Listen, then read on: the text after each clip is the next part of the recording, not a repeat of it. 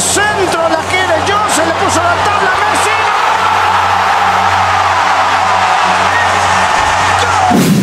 Jika ditanya trio paling mematikan di Amerika saat ini, jawabannya pasti trio MTM. Ya, Inter Miami kini punya duet mau di posisi lini depan. Lionel Messi, Robert Taylor, dan Martinez siap menghantui gawang lawan dengan gol-golnya.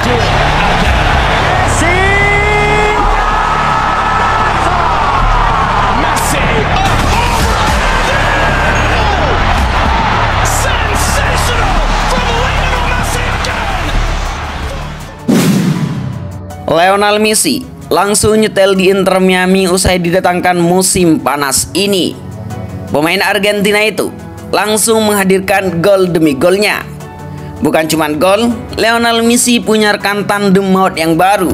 Robert Taylor dan Martinez juga tampil tajam seiring kedatangan La Pulga.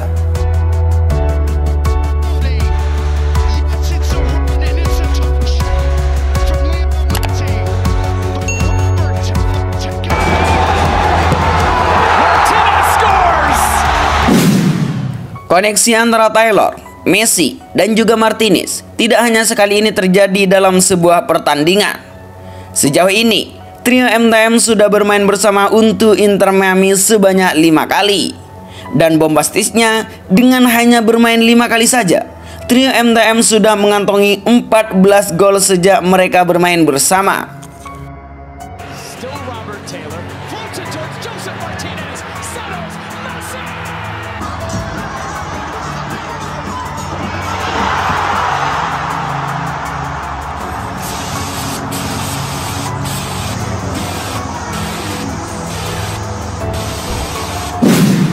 Chemistry ketiga pemain ini benar-benar luar biasa. Messi, Taylor, dan juga Martinez sepertinya sudah saling menyatu dan saling memahami. Tak ada jiwa egois dari ketiga pemain ini. Mereka saling memberi dan terbaru saat Miami melawan Charlotte FC, ketiganya berhasil mencatatkan namanya di papan skor. Bahkan demi Martinez bisa cetak gol, Lionel Messi merelakan penalti untuk Martinez saja.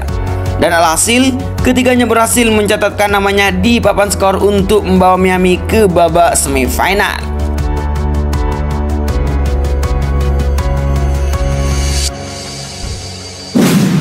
Tak hanya di dalam lapangan, ternyata di luar lapangan ketiganya memang sering bersama.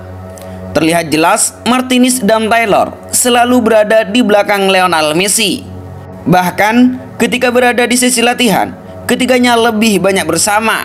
Sehingga tak heran ketika di lapangan trio MTM, Messi, Taylor, dan Martinez sangat menyeramkan.